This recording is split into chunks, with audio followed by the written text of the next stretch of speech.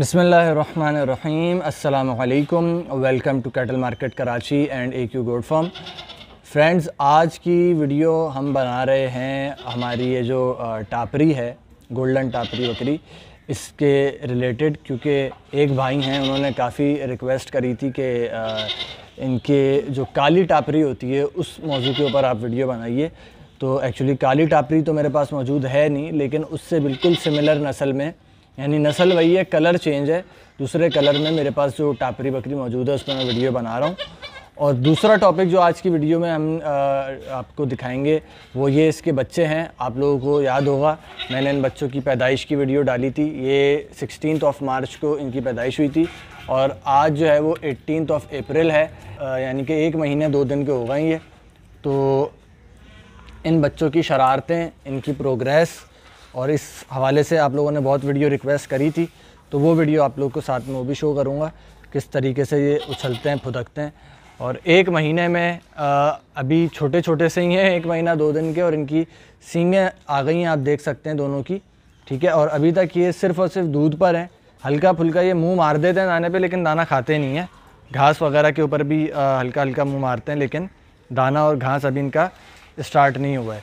Totally ये दूध पर हैं और उसी पर ही इनकी इतनी माशाल्लाह से शरारतें हैं। अल्लाह ताला इनको सेहतमंद बनाए, सेहत और तंदुरुस्ती अदा फरमाए और नज़र लगने से बचाए। अब आ जाते हैं उस मौजू की तरफ़।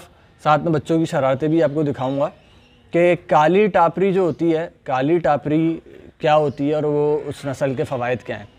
टापरी देखें, यही होती है। टापरी की पहचान ये पत्ते ऐसे कान होते हैं, ऐसे इसके छोटे छोटे कान हैं, पत्ते नुमा। ठीक है, बच्चे तो इसके टापरे के क्रॉस हैं। बच्चों के कान ज़रा बड़े हैं, अम्मा से। अगर आप देखें ना बच्चे। बच्चों के कान अम्मा की बनस्बत बड़े हैं। ठीक है?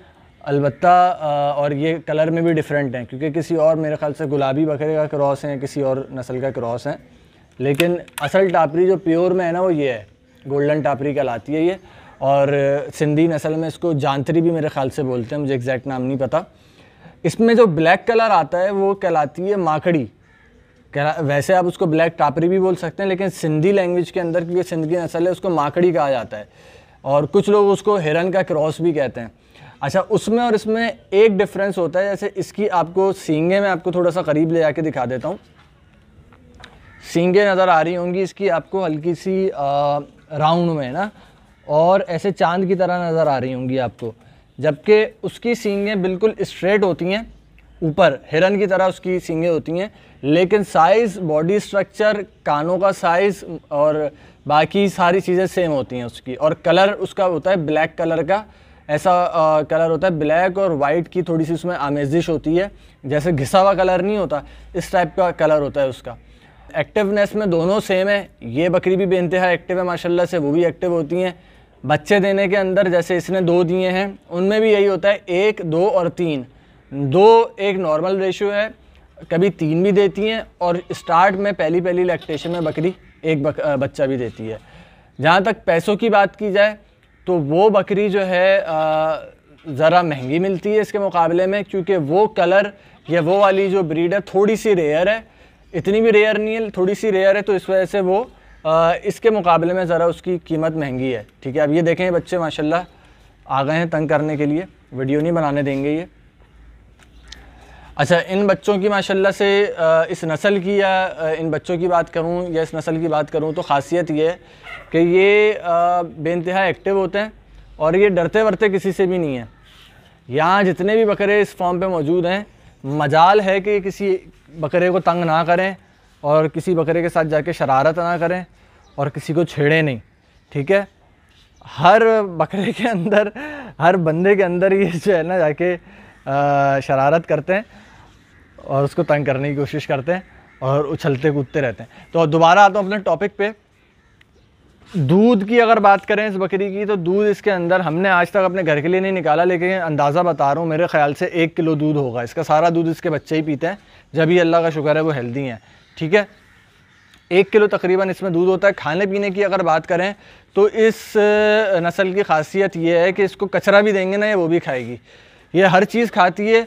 लक्कड़ हज़म पत्थर हज़म वाली जो बात होती है ना वो मेरे ख्याल से इसी नस्ल के लिए बोली जानी चाहिए। और ये टेढ़ी नस्ल नहीं है। इसको टेढ़ी से मिक्स नहीं करिएगा। साइज़ में ये तकरीबन टेढ़ी जैसे ही होते हैं छोटे साइज़ के होते हैं। ये इसका फुल साइज़ है। बकरी का आप देख सकते हैं तकरीबन दो फुट या दो फुट से थोड़ा ऊपर होगा ढाई फुट तकरीबन इसका साइज़ होगा। ख़रीदारी के हवाले से लोग पूछते हैं कि काली माकड़ी जो है आ, काली टापरी जो है वो कहाँ से मिलेगी तो वो नॉर्मली सिंध में आ, कभी कभार हैदराबाद मंडी में आती है और कभी कभार टंडो आदम मंडी में आती है। ठीक है? हर हफ़्ते नहीं आती हर मंडी में नहीं आती। इन दो मंडियों में आज तक मैंने देखी है और वो भी थोड़ी तादाद में आती है। वरना नॉर्मली आपको सिंध के गाँव गोट वगैरह में मिल जाती है मालूम करके। लेकिन ज़्यादा क्वांटिटी में नहीं मिलती। जो ब्लैक टापरी की बात कर रहा हूँ गोल्डन टापरी तो फिर भी आपको इजीली उसकी बनस्बत मिल जाएगी। तो ये चीज़ है। लोग ब्लैक टापरी को शौकिया इसलिए रखते हैं कि उसमें थोड़ी सी हिरन जैसी ममासलत है, सिमिलैरिटी है, उसकी सींगों में भी सींगें बिल्कुल खड़ी हैं उसकी और उसकी जो एक्टिवनेस है वो इससे भी ज़्यादा है। तो इस वजह से लोग ब्लैक टापरी को या जो काली माकड़ी है, उसको ज़्यादा प्रेफरेंस देते हैं बाज़ लोग शौकिया तौर पे। गोश्त के हवाले से ये बकरी बहुत अच्छी है, क्योंकि मैंने आपको जैसे पहले भी बताया कि आप उसको कचरा भी खिलाएँगे तो तब भी ये बनेगी। और प्रोग्रेस करेगी, दूध भी अच्छा देगी, सारी चीज़ें करेंगी।